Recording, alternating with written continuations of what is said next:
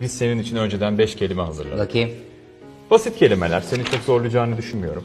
Ama ekleyebilirim değil mi? Tabii ki ekleyebilirsin. Bunları kullanacağın cümleler. Sarılmak, El, el, zarar, zarar, kelime, kelime kalp, sarılmak, el, zarar, kelime kalp, sarılmak, el, zarar, zarar vermem.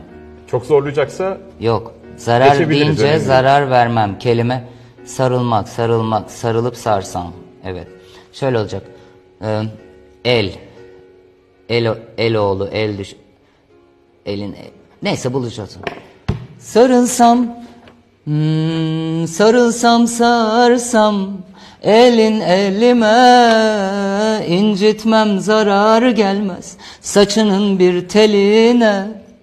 Sarılsam sarsam, elin elime, incitmem zarar gelmez, saçının bir teline.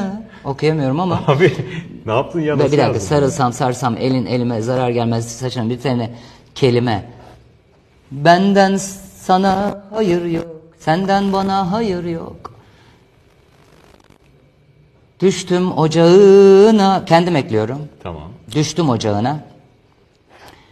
Kelimeyi de kullandık. Kalp. Ok gibi saplanıyor kalbime. Bu da olabilir.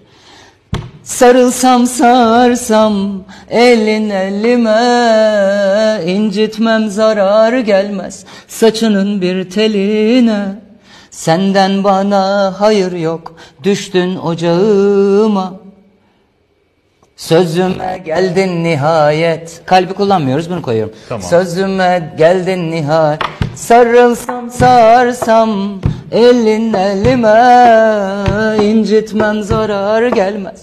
Saçının bir teline senden bana hayır yok. Düştün ocağıma.